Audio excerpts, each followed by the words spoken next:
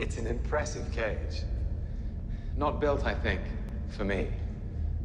Built for something a lot stronger than you. Oh, I've heard. A mindless beast. Makes play he's still a man. How desperate are you? You call on such lost creatures to defend you. How desperate am I? You threaten my world with war. You steal a force you can't hope to control. You talk about peace, and you kill because it's fun. You have made me very desperate. You might not be glad that you did.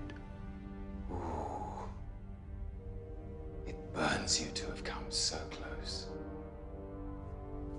To have the Tesseract, to have power, unlimited power.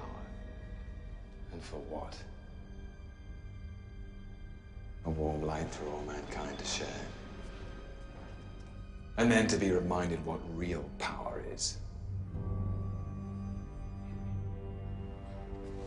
Well, let me know if real power wants a magazine or something.